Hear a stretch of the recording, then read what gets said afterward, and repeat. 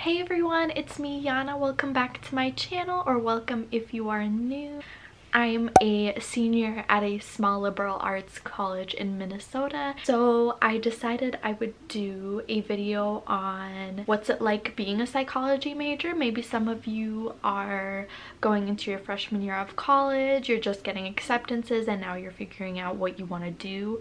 Or maybe you're thinking of switching your major or you just want to know if psychology is a good fit for you. Also in the description I will leave um, the different timestamps throughout this video so if you want to fast forward to a different part of where I explain something then you can. So without any further ado let's get on into the video. So the first thing that I want to talk about is how I personally decided to be a psychology major and for me basically ever since I started high school I dealt with um, mental health stuff and a lot of my friends and people I knew were dealing with that too and then I started researching about mental health and then I came across um, you know, what's it like being a psychologist, psychology. I did a lot of my own personal research and the more that I researched psychology, the more that I was like, wow, this like interests me. I love this.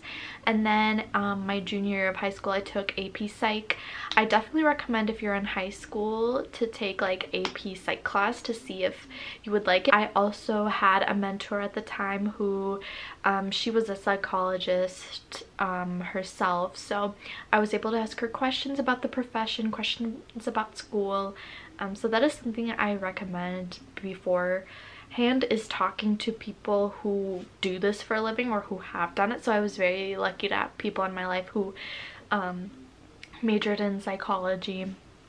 And then also I remember in high school taking like the career tests where in like a college prep class we would take like what career would be best for your personality which I think those are a good starting point but you can't categorize your personality in a box and I feel like your personality shouldn't stop you from doing other jobs that say you're not a good fit. But anyway, basically I did it and it showed that my type of personality is good for like being a counselor, psychologist, basically any type of job that provides care to people.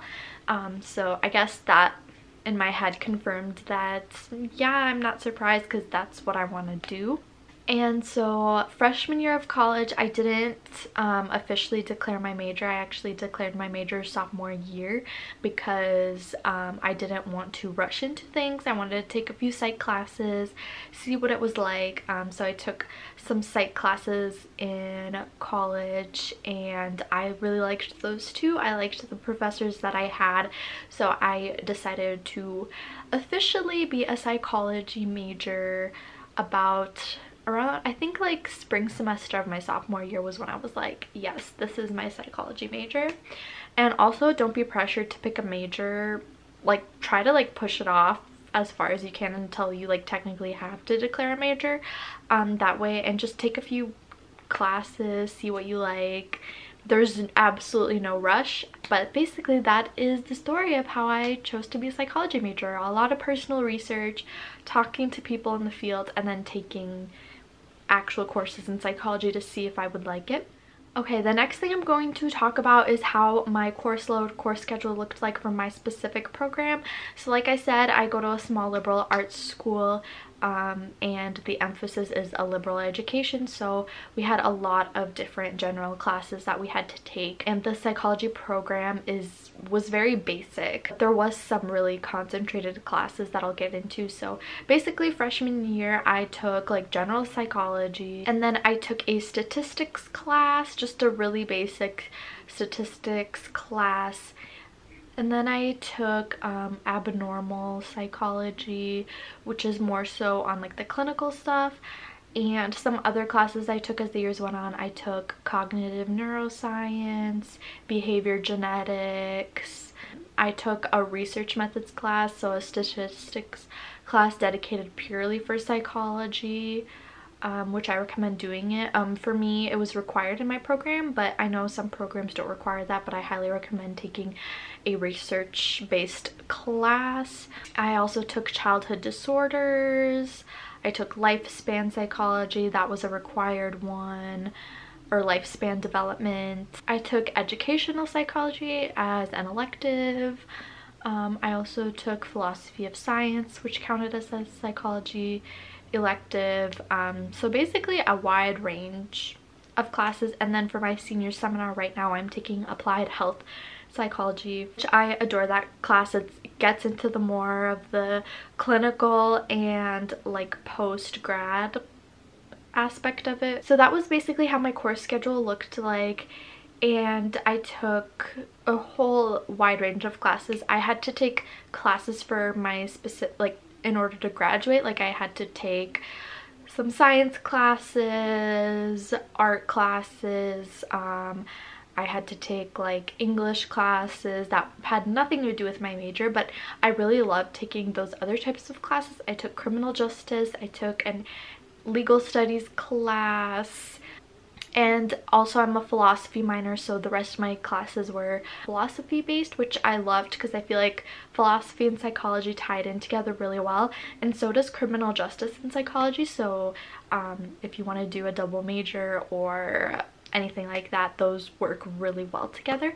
But that's basically what my course load looked like. I had a lot of freedom in what to choose. It wasn't like for my program it wasn't like a strict program. Like you did obviously have requirements but you had a lot of options on like what you wanted to take. I also had to take an internship that was required as well which i did last fall. Um, most likely if you do major in psychology you'll probably have to take an internship but I feel like with any major you have to complete some sort of practicum, internship, research, whatever it may be. Okay, now I want to talk about on if psychology is a hard major because I know a lot of people have a misconception that psychology is one of the easy majors, that it's something you major in if you don't know what you're doing and if it's basically an easy major that you can just slack off and you're fine.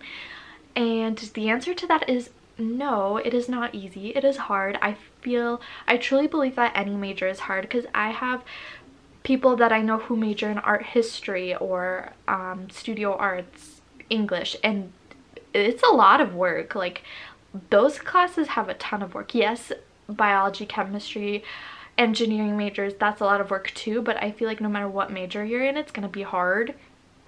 That's just it. Like, I don't think there's such a thing as an easy major. I do feel that psychology was difficult. My cognitive neuroscience class, that was so, so hard. It was extremely hard. I ended up doing well in it, but only because I went to my professor's office hours consistently and studied but hard for those tests. Like that class was so hard and behavior genetics was kind of hard too and um, you do have to take statistics you do have to take statistics classes, you have to take some science classes, especially biology. You have to take biology. I feel like as time goes on, psychology ends up becoming more and more biologically based and it sociology based. It's honestly psychology is so broad and has so much to do with it and there's more research being done with it so definitely it has a lot more of statistics and science um, which those subjects can be hard as well and it is pretty complicated and I felt like I had to study a lot. Like it wasn't just oh I don't have to study. Like I did have to study. My program definitely pushed me. Yeah it wasn't easy by any means I feel like it is hard, but at the same time, I learned so, so much valuable stuff that I wouldn't change at all. And yeah, but I don't think that psychology is an easy major. I don't think any major is particularly easy unless if you're like Einstein or something, but yeah, I feel like no matter what major you choose, there's gonna be times where it's gonna be hard. Next, I'm going to talk about internships in psychology. So like I said, my program required me to have an internship in psychology and this was really easy for me to do. Kind of just, the opportunity kind of just presented itself. I knew I had to have an internship at some point. Um, but I ended up getting a job in a mental health clinic as an administrative assistant and then through there I kind of built or crafted my own internship. I wanted it to be social work focused. Um, so I kind of, because there was a lot of um, clinical social workers at my job, so um, I would interview them, ask them questions, do a lot of research, different things like that at my internship and I would participate in different trainings and meetings and things like that so it was very like I could kind of craft it to how I wanted it to be and I had an advisor, I had an internship coordinator at my school that helped me and they have a lot of resources out there for students when it comes to the internship search. Honestly, if your school has like a career fair or internship fair, that's really great to go to. You can look up different things. I also was a sexual assault victim advocate and um, I got 40 hours of crisis mental health and crisis training through that. So that was really great. I did that sophomore no junior yeah junior year and sophomore year. I did it from sophomore to junior year but um I loved doing that as well. That opened up like opportunities for me. I think that's what helped me land the job that I had but there's so many resources out there. You can be a victim advocate like i was. You can volunteer at a mental health clinic. Um, you can shadow psychologists. You can do a lot of different things. Honestly just reaching out to your advisor reaching out to um, the internship or career development at your school. I'm sure most schools are have one and just doing your own research too or asking upperclassmen people older than you what did you do your internship in? And that definitely helps as well. Okay now i'm going to transition into talking about jobs in psychology and the future. So i am a senior and will be applying for jobs and like I said I applied for a master of social work and I got accepted so I will be getting my master of social work so if you want to be a counselor um therapist um drug and alcohol counselor um, marriage, family counselor, anything like that. Uh, you do have to go to graduate school in order to become licensed and in order to get jobs. Basic and if you want to be a licensed psychologist you have to get a phd to have the title of a licensed psychologist. And then if you're wondering well i know people who are psychologists and they just got their masters. Well those are technically not psychologists they're mental health therapists or licensed professional clinical counselors. There's like so many different terms. And there's also licensed independent clinical social workers who provide therapy as well and that is what I want to be. Um, it's just basically the same kind of training as you would get to become a counts mental health counselor. It's just more focused on communities and the social aspect of it um, more so than the individual but you can go any route and probably get to the same ending to be giving therapy to people. Um, so there is a lot of job. Psychology is so broad with the major in psychology. You can work in business, um, you can go to law school, you can go to graduate school for pretty much anything. You can be a case manager, you can work in the crime and justice system. Like I said, you can work in the in business and marketing. Um, you could there's the opportunities are endless. It is what you choose to do with it and the experience you get how you present yourself what research do you do what do you do outside of your major. Keep that in mind. If you expect to graduate with a bachelor's in psychology and become a therapist that's not how it works. You have to go to graduate school and you have to get licensed. But it is worth it in the long run because job security you get paid a higher higher salary and everything like that. Like you could still find jobs in psychology with a bachelor's but it'll be harder and they won't be as um, high paying because you don't have that licensure or that graduate or grad school or your master's.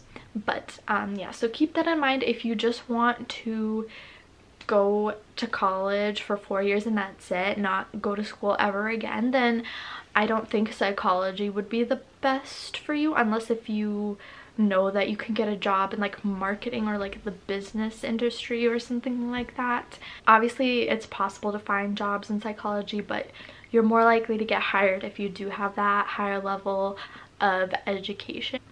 But I think overall psychology is a really rewarding major for me and I'm really excited. I'm super passionate about it. I'm excited to go to grad school. I'm excited to get licensed eventually one day and be able to have sessions with people and be able to diagnose and all that type of stuff is really exciting and I am excited for that. Basically psychology is super broad. You can get a ton of jobs with it but if you're seeking to be a counselor or a psychologist then you do have to go on to higher education so just keep that in mind. Well, I definitely think if you're interested in psychology, if you want to be a mental health professional, um, or if you want to work in business or the criminal justice system or if you plan on going to law school or anything like that definitely I would recommend psychology. So yeah that is basically my story on um, what it's like to be a psychology major. If you guys have any specific questions that I didn't address or if you want more clarity on leave them down in the comments below. And like I said I'll be making videos on grad school, why I chose like to pursue a Master of Social Work, different things you can do with psychology, things like that. So stick around for that. Make sure you subscribe and have the notification bell so you can be notified when I upload those types of videos.